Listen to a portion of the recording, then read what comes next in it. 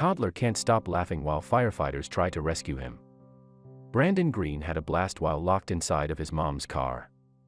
Over on the other side of the pond, there was a recent event not so different from what happens over here in the States quite a bit. 14-month-old Brandon Green accidentally locked his mom, Kirsty Green, out of the car while he was still in it. She had placed her keys in the center console while she loaded her groceries into the vehicle. Once she shut the back door, before she could open the front one, Brandon accidentally bumped the lock. Green is just over a year old and he loved the attention he was getting. He hit the locks in his mom's car and accidentally locked her out. His mom had just loaded the groceries when he locked the car. She had placed the groceries in the car when suddenly Brandon hit the locks. He thought it was quite funny that he was the only one inside the vehicle. Brandon laughed the entire time they were trying to get him out.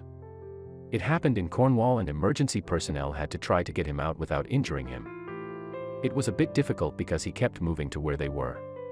Kirsty Green is thankful for the local fire department. Brandon's mom, Kirsty Green, said the crew from Bude Community Fire Station were amazing. She added that they are a credit to the community.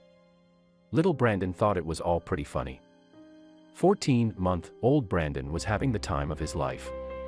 He thought all of the attention was more funny than scary. Kirsty thought Brandon would be fine as she loaded the groceries in. Kirsty thought Brandon would be okay while she loaded in the groceries. That is until she realized she had left her keys inside. The United Kingdom has some of the best emergency personnel. They were quick to arrive on the scene to rescue Brandon. Eventually, they had to break the back window to get him out. A mistake with her keys could have been costly.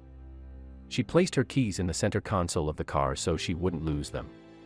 She didn't realize what kind of mistake she was making. She realized what she had done too late. When she realized what she had done it was too late. She turned back just in time for the doors to close and the locks to lock, with Brandon smiling inside. Emergency crews eventually had to smash the back window. Crews tried several ways to get the doors open but each attempt failed. Eventually, they had to smash a back window. After a little time, he got bored and wanted out. Brandon hadn't been strapped into the shopping cart because there were no straps. That's why Kirsten put him in the car. What was funny at first though, quickly led to boredom on Brandon's part. She said, I decided to put him in the back of the car while I was unloading the shopping so he didn't keep trying to stand up in the trolley. Shopping cart, here is what happened because of that decision. He kept standing up in the cart.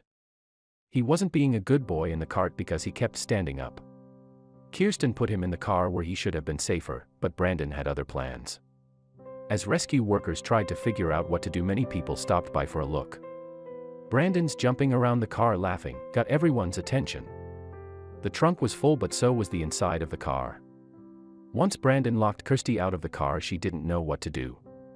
I was a bit panicky at first, wondering how I was going to get him out, but luckily a few other shoppers quickly came to help me out, and one lady working in Lidl phoned 101. 911. Luckily it was an overcast day. It wasn't as bad as it could have been.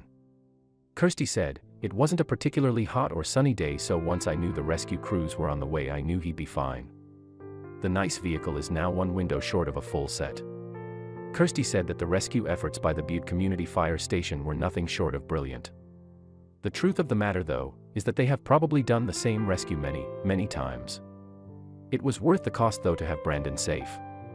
The cost of a new window isn't cheap, but it was worth it to make sure Brandon was okay.